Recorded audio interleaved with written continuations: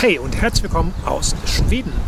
In diesem zweiten Vlog werde ich euch ein bisschen was erzählen zu meiner Erfahrung hier in Schweden, auch was die Corona-Situation betrifft. Ein paar Leute hatten ja auch Fragen dazu gestellt in den Kommentaren.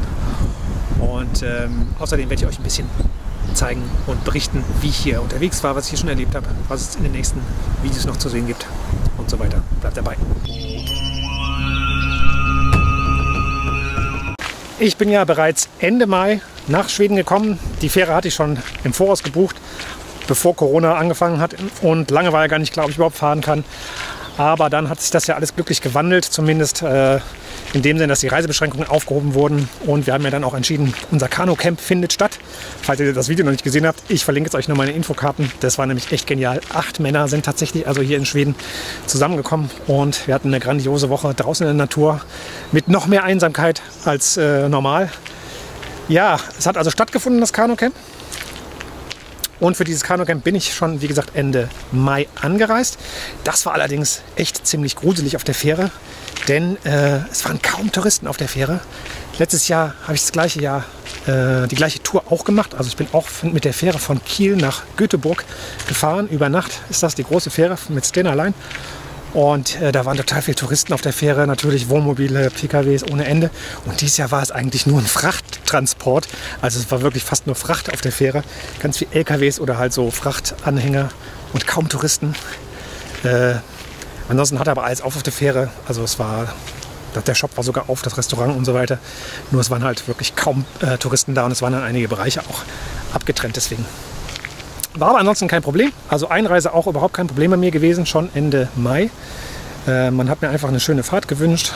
Der Zollbeamte da, Polizei, schwedische, hatte nochmal mein Auto geguckt, ob ich allein unterwegs bin. Und ansonsten bin ich da sehr freundlich empfangen worden.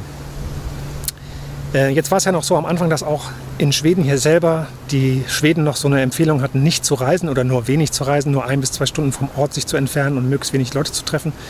Und insofern äh, war es natürlich jetzt ein bisschen mulmig auch mir äh, dann hier schon in Schweden zu sein als Tourist. Da ich aber jetzt sowieso erstmal nur das Kanu-Camp als Ziel hatte, bin ich auch nicht viel gereist hier. Ich bin eigentlich nur in Dalsland gewesen, direkt hochgefahren zum, nach Bengtsfors, zum Campingplatz, wo wir gestartet sind mit unserem Kanu-Camp. Und vorher war ich eigentlich nur einmal an einem Ort da äh, in dem Nationalpark. Wie hieß er nochmal? Schon wieder vergessen. Das Video habt ihr aber gesehen davor wenn nicht, ich verlinke es euch auch nochmal. Ich habe auch im Übrigen wieder natürlich eine Playlist hier gemacht für Schweden 2020, wo ich alle Videos wieder reinpacke. Und äh, ja, verlinke ich euch in den Infokarten und unter dem Video hier findet ihr dazu auf jeden Fall ausreichend Hinweise. Genau, ich war also die erste Zeit einfach nur in Banksforce und dann war es aber so, dass am 13. Juni, glaube ich, war das, auch die Reisehinweise oder die Reisebeschränkung, die Empfehlungen hier für alle Schweden aufgehoben wurden. Das heißt, auch die Schweden durften dann wieder frei reisen. Natürlich gibt es und äh, gab es und gibt es in Schweden auch konkrete Hinweise, wie man so reisen soll, was man beachten soll. Ansonsten ist es aber hier wirklich super, super entspannt und normal, sag ich mal. Ja. Die Schweden haben ja kein Lockdown in dem Sinne wie alle anderen Länder in Europa oder sogar die meisten in der Welt, sondern das gefällt mir auch echt wirklich gut. Die Schweden haben auch konkrete Empfehlungen bekommen von der Regierung, aber es gibt nicht diesen klassischen Lockdown und diese Zwänge, wie man sich verhalten soll. Das gab es ja auch gar nicht. Äh, man appelliert hier wirklich an die Eigenverantwortung jedes Einzelnen. Das wird auch immer wieder so kommuniziert in den Nachrichten, in der Zeitung. Das finde ich wirklich schön. Und das ist auch genau das, was ich hier so erlebe. Die Schweden sind irgendwie, die sind total ähm, vernünftig, die sind total entspannt, nicht irgendwie in Panik oder irgendwie äh, übertrieben, schützen sich nicht irgendwie übertrieben meiner Meinung nach, sondern es läuft ja ganz normal ab. Trotzdem ist jeder sehr verantwortungsvoll. Zum Beispiel, wenn man einkaufen geht, dann äh, halten die Abstand. Das machen die sehr konsequent. Also wirklich noch mehr als bei uns. Wenn ich jetzt zum Beispiel am Regal stehe, das habe ich wirklich mehrfach beobachtet und jemand möchte da ran, auch dann wartet der. Der wartet wirklich, bis ich weg bin, mit ausreichenden Abstand, also wirklich viel Abstand und dann geht er erst dahin. Und ansonsten, ich habe ja auch noch keinen mit Mundschutz gesehen. Ja. Äh, auch, ich war auch mal im Einkaufscenter jetzt inzwischen äh, und in so einem großen Supermarkt. Es gibt wirklich so kaum Anzeichen oder gar keine Anzeichen dafür, dass hier diese Geschichte mit dem Coronavirus läuft.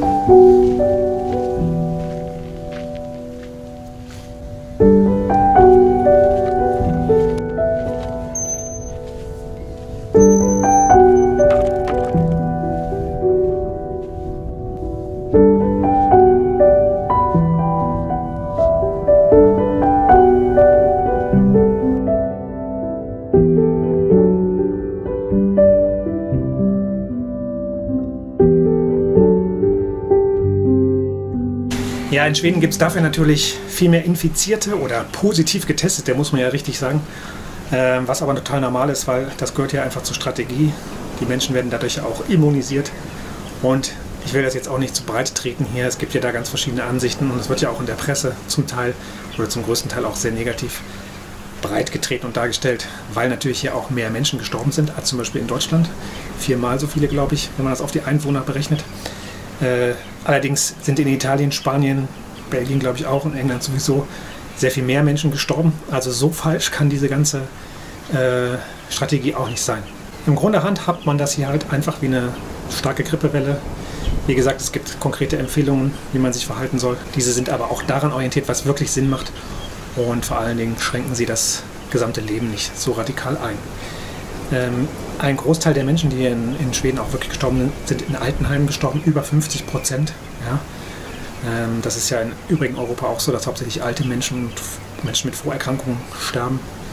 Ähm, und da hat Schweden genauso eingeräumt, dass da große Fehler passiert sind, dass da nicht ausreichend Schutzkleidung vorhanden war, dass nicht ausreichend von vornherein da priorisiert wurde, alte Menschen vor allen Dingen in Heimen zu schützen. Ne? Ja, ich will aber das Thema auch wirklich jetzt nicht weiter breit treten und bitte tut mir auch einen Gefallen und fangt nicht in Kommentaren an, äh, jetzt wieder so Gegendarstellungen und äh, ach, ist alles Mundschutz ist super wichtig und hast nicht gesehen. Ich weiß, das ist so sensibel, jeder fährt ja so gerade seinen Film. Ich finde es total wichtig, dass man seine Meinung auch noch frei äußern darf, ohne dass andere Leute sofort reingerätschen und versuchen, denjenigen irgendwie mundtot zu machen oder vom Gegenteil zu überzeugen. Ich spreche einfach nur aus meiner Erfahrung und sage so, wie es sich für mich anfühlt, was ich so sehe. Und wie gesagt, hier in Schweden kann man das ja auch ganz real erleben, dass die Menschen hier viel entspannter, viel besonnener mit der ganzen Thematik umgehen. Und das entspricht meinem Empfinden, meinem Gefühl wesentlich mehr als das, was in Deutschland und in den meisten anderen Ländern passiert. Kann man jetzt nach Schweden fahren? Also, wie sind überhaupt die Bedingungen? Ich verlinke euch äh, hier unter dem Video und auch in den Infokarten jetzt mal einen Link auf meinen Blog. Da habe ich nämlich, ja, ich war auch sehr fleißig, ich habe nämlich da einen Artikel zu diesem Video erstellt, wo ich auch äh, Webseiten verlinkt habe, Quellen, wo ihr genau nachlesen könnt, wie die, die, die Situation hier für die Einreise nach Schweden und auch für die Rückkehr nach Deutschland ist.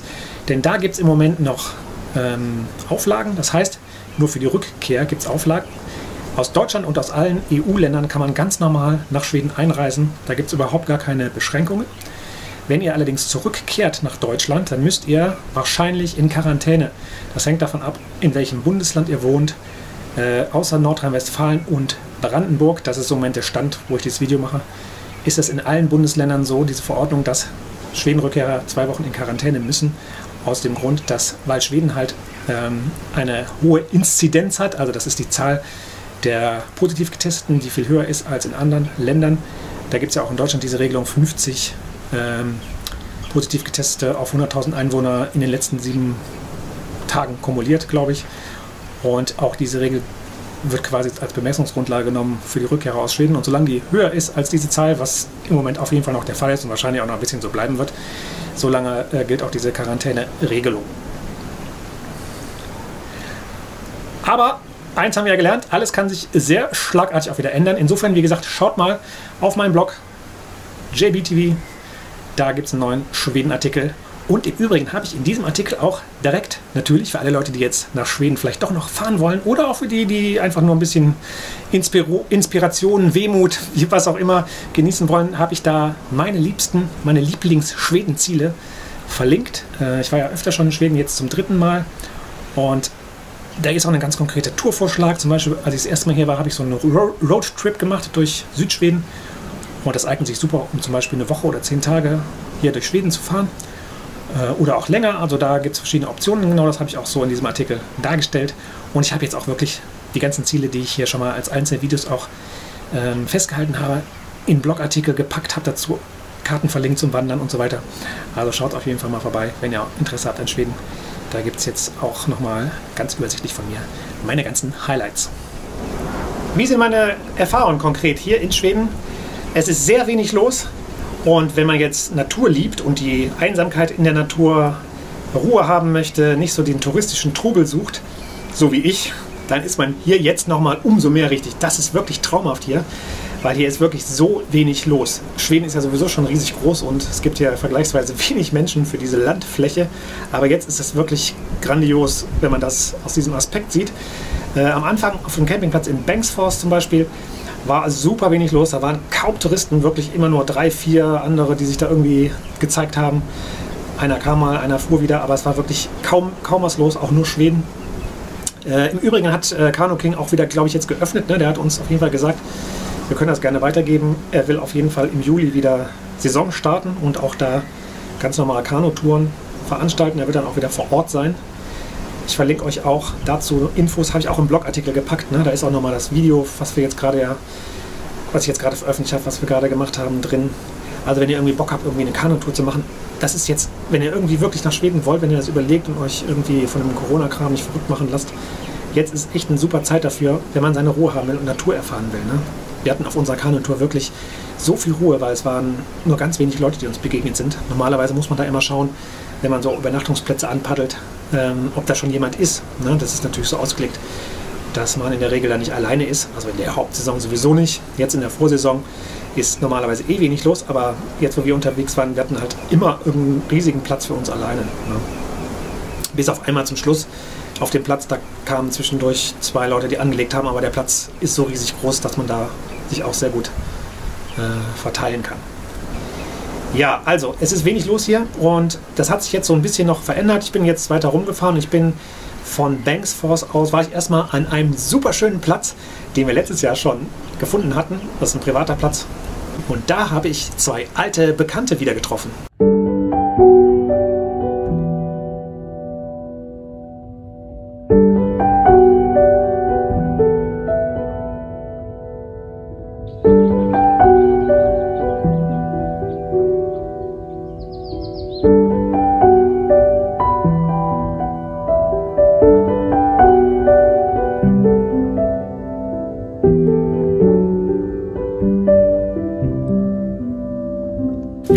Hier äh, an diesem wunderschönen Platz und äh, es hat nur wenige Tage gedauert. Da kamen zwei altbekannte Freunde hier angerauscht. Michael und Manuela. Da. Das war auch gar nicht geplant, ne?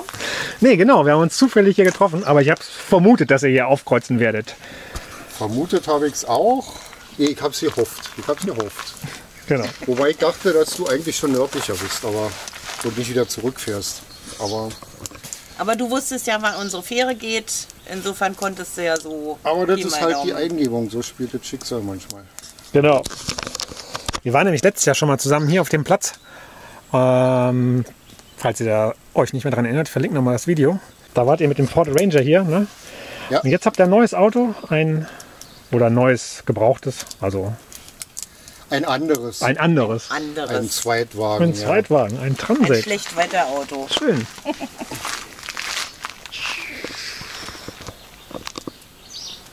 Ja, dann musst du da dein Handtuch wegnehmen. Für das Fernsehen. Oh ja. Tada.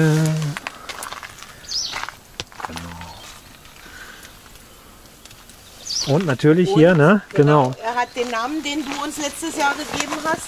Genau. Die Ausreißer. Sehr schön. Und natürlich hier.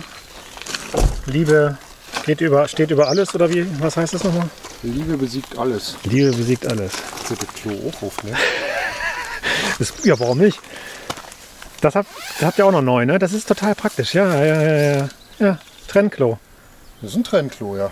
Ich glaube, das ist dieses Jahr der Renner, weil viele Leute ja gerne campen dieses Jahr zu Corona-Zeiten und autark. Also funktioniert einmal frei. Also besser als mich hier im Wald zu hocken. Also, und Und besser für die Natur natürlich Bio, auch. Mit den Bio-Tüten da dran. Also wir sammeln das jetzt ein paar Tage und dann, also das Papier machen wir extra, weil wir kein, kein Recyclingpapier haben. Papier wird verbrannt und die Tüte kommt dann irgendwo in Hausmüll oder sonst irgendwas. Wir haben jetzt hier so einen, so einen, so einen trockenen Torf, Mhm. um das auszutrocknen.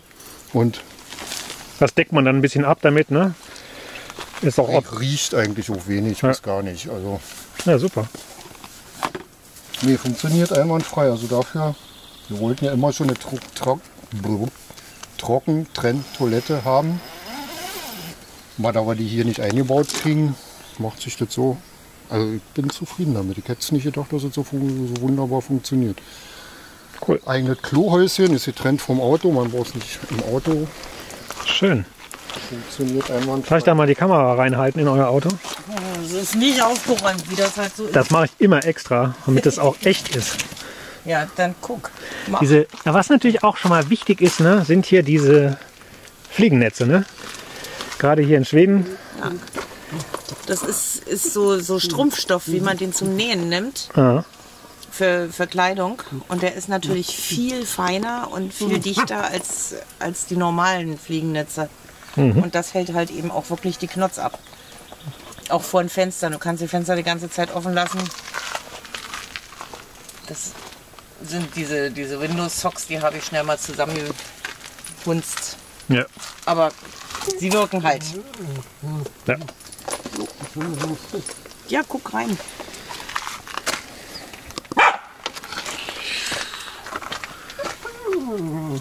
Ah, sehr gemütlich. Das Licht? Nö.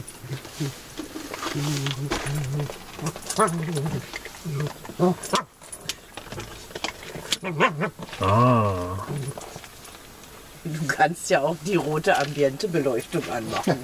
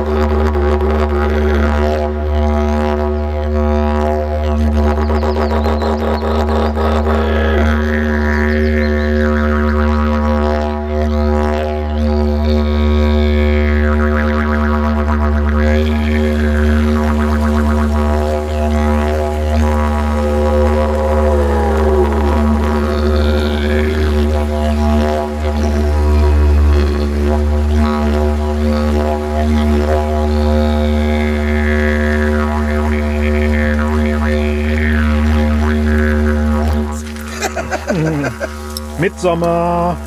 Mitsommer, genau.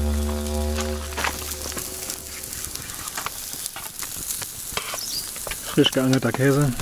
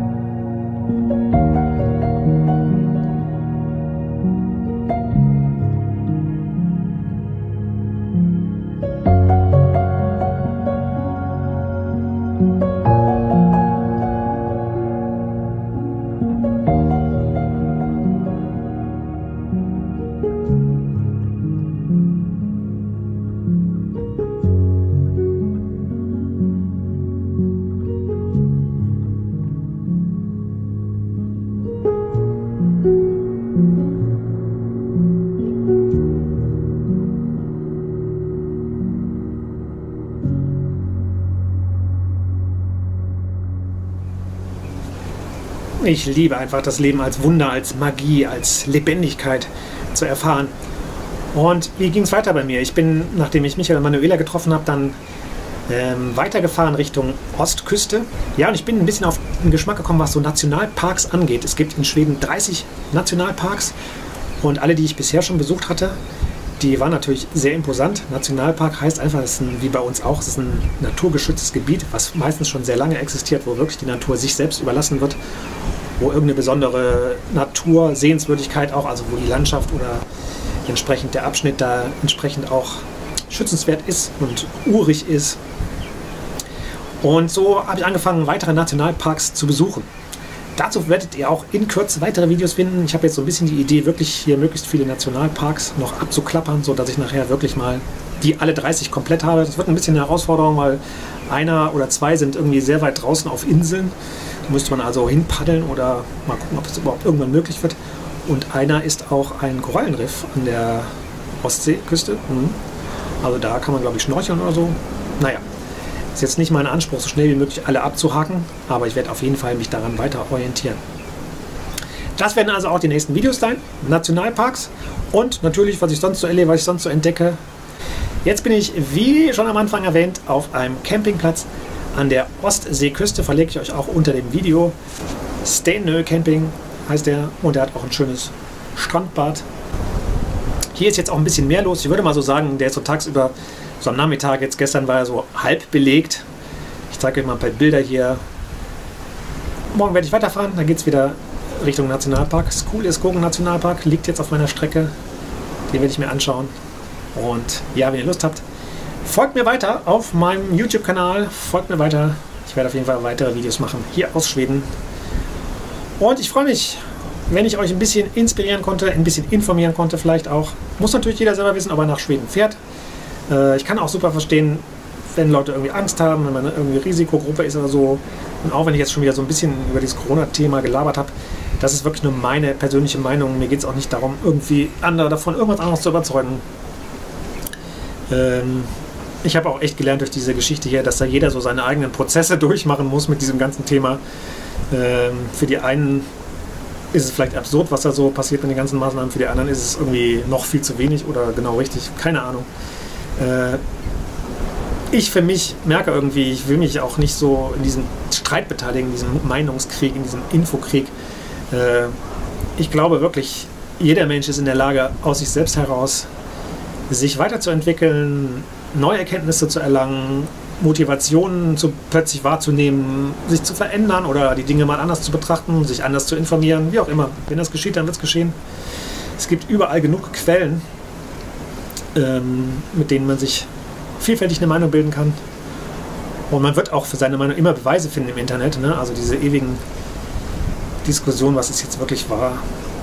Ich weiß nicht genau, ob das zu irgendwas führt. Wahrheit ist irgendwas, was in mir entsteht. Das ist meine Erkenntnis über mein Leben. Ich selber habe eine eigene Wahrheit und für mich hat auch jeder Mensch eine eigene Wahrheit, denn wir sind alle einzigartig. Das sieht man äußerlich sehr sichtbar und für jeden klar. Innerlich ist das genauso, logischerweise. Jeder Mensch hat eine andere Erfahrung, jeder Mensch hat andere Dinge erlebt. Ja. Und wir urteilen so schnell über andere und meinen denen sagen zu müssen, wie es richtig ist ohne die Menschen wirklich zu kennen, ohne in ihren Schuhen gelaufen zu sein, wie man so schön sagt. Und das ist etwas, was mir hier die Natur schon wieder gegeben hat, die Ruhe auch hier jetzt in Schweden, mein, mein, meine Freiheit hier, die ich hier genieße. Einfach die Dinge und die Menschen so sein zu lassen, wie sie sind. Bei mir zu bleiben, mein Ding zu machen, was für mich richtig ist, dem zu folgen, meinem Gefühl vor allen Dingen zu folgen äh, und nicht so sehr meinen Gedanken zu folgen, vor Dingen nicht meinen angstszenarischen Gedankenmustern zu glauben. Ja. Ähm, das ist meins. Und ja, ich freue mich über jeden, den ich irgendwie ein bisschen inspiriere. Und meine Botschaft, wenn ich überhaupt eine habe, ist eigentlich immer die, mach dein eigenes Ding, schau bei dir selber nach, finde es für dich selbst heraus, folge niemandem, auch nicht mir. Ja? Ich kann nicht wissen, was für dein Leben richtig ist. Never. Und ich weiß nur, was für mein Leben richtig ist. Das versuche ich auch so rüberzubringen, dass ich einfach von mir erzähle, und wenn jemand damit irgendwas anfangen kann, wenn er einer deine Resonanz spürt, dann ist es schön. Und ich freue mich auch über nettes Feedback, über nette Begegnungen. Und wenn jemand sagt, ah, da kann ich überhaupt nichts mit anfangen, auch vollkommen normal. Ja. So ist es doch schön, Leute, oder? Also, genießt euer Leben und vielleicht begegnen wir uns ja sogar noch in Schweden. Wer weiß. Wenn ihr hier unterwegs seid, meldet euch ruhig mal bei mir. Ich habe jetzt auch schon wieder eine Verabredung mit jemandem, den ich wahrscheinlich noch treffe. Also wenn es irgendwie passt und, ich merke so, oh, zieht mich an, dann freue ich mich natürlich auch hier über Begegnungen im gelobten Paradies. Ihr Lieben, ich wünsche euch eine schöne Zeit, was auch immer ihr treibt. Wir sehen uns in zukünftigen Videos. Wenn euch das Video gefallen hat, sehr gerne Daumen nach oben und bis bald. Tschüss!